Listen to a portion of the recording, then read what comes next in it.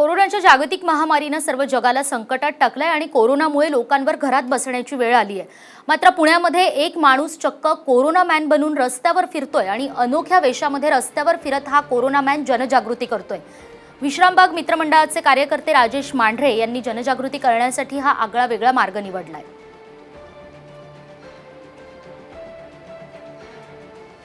मांढरे आहेत सामाजिक कार्यकर्ते आहेत ते कोरोनाचा वेश धारण करून प्रत्येक ठिकाणी जात आहेत प्रत्येकाला सांगतायत.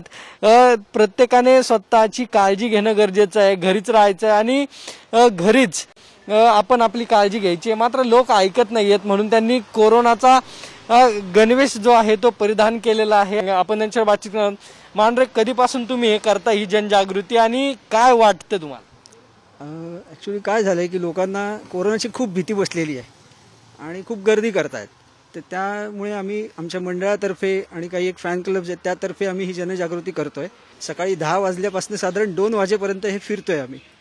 आणि लोकांना जिथे मास्क नसतील घातलेले किंवा गर्दीत उभे असतील त्यांना सांगतो की सहा सहा फूट लांब थांबा. गर्दी करू नका मास्क वापरा. अशी जनजागृती करतोय आम्ही. लोकांचा अनुभव काय येतो आणि कधीपासून तुम्ही हे करताय? आम्ही गेले हे चार दिवस करतोय. आणि बरीच लोक चांगलं म्हणतायत की तुम्ही खूप चांगलं काम करताय की रेड झोन असून सुद्धा तुम्ही स्वतःचा जीव धोक्यात घालून ही कामं करत आहात. म्हणजे जसं आपले पत्रकार बांधव असतील पोलीस असतील किंवा हॉस्पिटलचा सगळा स्टाफ असेल हे सगळं आपण नागरिकांसाठीच करतोय. पण काही प्रमाणात नागरिकांना कळत नाही ते त्यामुळे हे आम्ही प्रयत्न करतोय की समजावण्याचा. वर इतर सर्व ज्या वस्तू आहेत त्या त्यांनी जवळ ठेवलेल्या आहेत. येणाऱ्या प्रत्येक लोकाला ते स्वतः खबरदारी घेण्याचं सांगतात आणि स्वतः ही मोठी खबरदारी त्यांनी घेतलेली आहे. फक्त लोकांनी नियमांचं पालन करावं आणि कोरोनाला पुण्यामधून पळून लावावं. कॅमेरा सुमित भोसलेचा सागरावाड साम टीव्ही पुणे. तर नागपूरमध्ये आज आणखी सहा कोरोना रुग्णांची भर पडलेली आहे आणि आज नागपूर शहरात कोरोनाचा सातवा बळी सुद्धा गेलाय. मोमिनपुरा भागात राहणाऱ्या एकाहत्तर वर्षाच्या महिलेचा कोरोनामुळे मृत्यू झालाय आणि गंभीर बाब म्हणजे महिलेचा मृत्यू झाल्यावर तिचा तपासणी अहवाल हा पॉझिटिव्ह आलाय.